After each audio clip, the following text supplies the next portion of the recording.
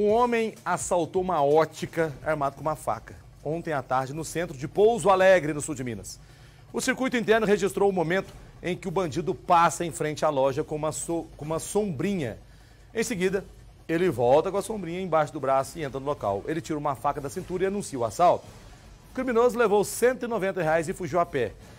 A dona da loja tenta correr atrás do bandido. O filho dela, que é criança, estava em outro cômodo da ótica e presenciou o assalto. Olha você vê que dó, gente. De acordo com a Polícia Militar, o suspeito já foi encontrado e está preso. Aí, ó, ele foi lá, roubou 190. Aí a turma ligou pro 190 e os meninos do 190 foi lá e levou ele, tá preso. Adiantou o quê, o Bocoió? Tá vendo? Da sombrinha?